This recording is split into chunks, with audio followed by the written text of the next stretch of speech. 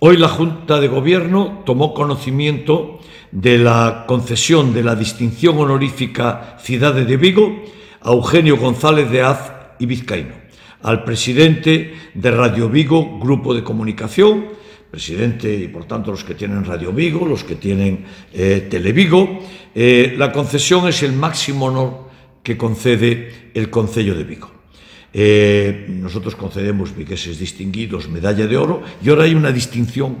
por encima de ellas, que es la distinción honorífica Ciudad de, Vigo. Eh, hoy la Junta de Gobierno tomó conocimiento y, y ahora eh, irá al Pleno. Decía que es la condecoración máxima que otorga el Concello de Vigo,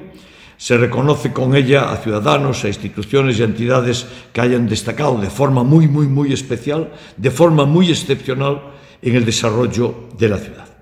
Y Eugenio González, eh, que nació en el año 41, economista, periodista, empresario, se incorpora a la empresa familiar Radio Vigo en el año 68, eh, es nombrado director en el año 73 y presidente en el año 2008 es una persona apasionada de la radio y de la televisión, pero sobre todo la importancia deviene de su inmenso compromiso con la ciudad de Vigo,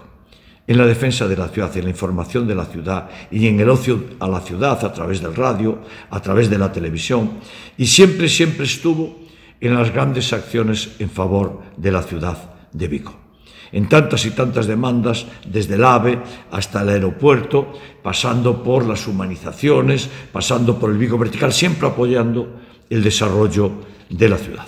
Así que eh, Eugenio González de Az y Vizcaíno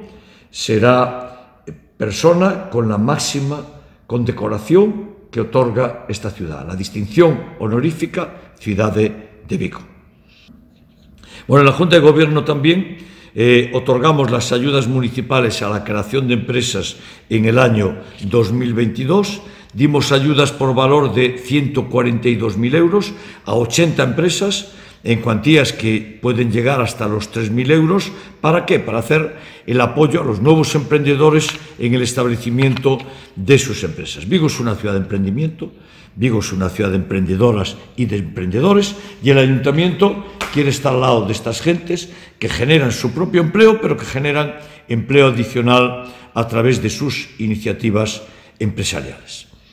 Adicionalmente, hicimos también la resolución del convenio eh, para la participación en la cabalgata de Reyes, pues con, carrozas, con autobuses, y a muchas empresas que lo solicitaron, le hicimos eh, la concesión. Eh, la temática de la cabalgata es películas infantiles y, como es sabido, este año realizaremos una cabalgata estática por la mañana y una cabalgata en movimiento, la cabalgata dinámica, por la tarde.